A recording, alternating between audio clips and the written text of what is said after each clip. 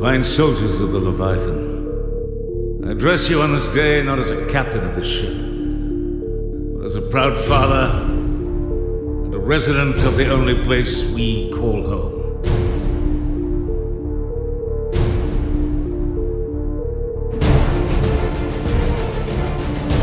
There's war. There are no negotiations. No ceasefires with this enemy. You will go in. All guns blazing.